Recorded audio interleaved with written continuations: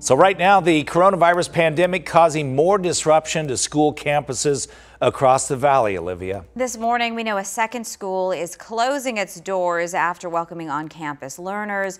Earlier this week, the Pinal County Health Department had shut down Santan Foothills High School in the Florence School District due to a cluster of COVID-19 cases.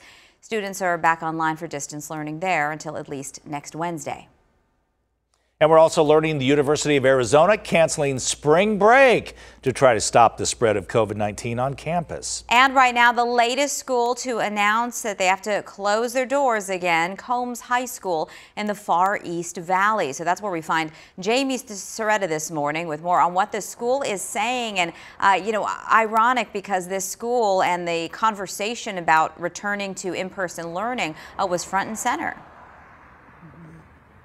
No doubt about it. And Combs High School is now closed for in person learning for at least two weeks now. This after an outbreak of COVID 19.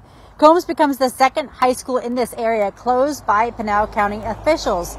In a letter sent home to parents, the J.O. Combs superintendent says the individuals who tested positive were last on campus on Tuesday. We do not know how many students or staff are positive, but we do know the number of students potentially exposed and asked to quarantine is so high, district leaders made the decision to switch back to online learning. They call it a proactive measure to protect students and staff from exposure to COVID 19. Now, you might remember this is the school district where more than 100 teachers staged a sick out back in August, concerned that something like this might happen. We covered that story very closely at one point. Some students and parents even marching to support going back to in person learning. Now, district officials hope to reopen this campus on October 27th, but that really is contingent on how many people end up contracting COVID from this outbreak. Back to you. All right, Jamie, uh, you know, this back and forth between in person learning and virtual or distance learning, it's got to be taking a real toll on the kiddos. It's so difficult. Oh, there's no doubt about it. The back and forth and inconsistencies are tough. Arony is joining us live this morning now with some advice for families who are struggling to learn how to cope the best with these evolving situations.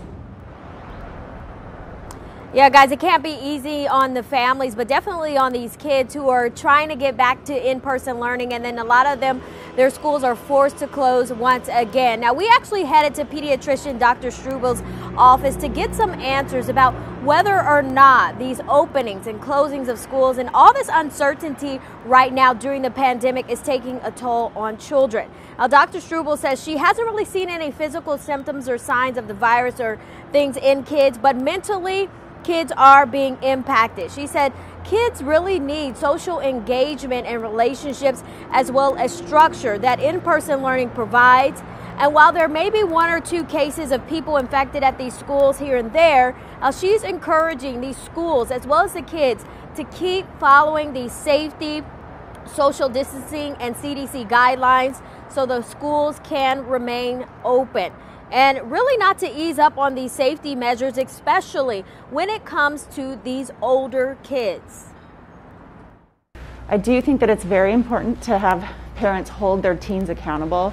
It's okay if they have some social interaction, but to go to big gatherings, that's what's really a, a concern because that's where kids are infecting each other because they're oftentimes simply not able to do all those things, take all those measures that help keep themselves self safe and then help keep their family safe as well.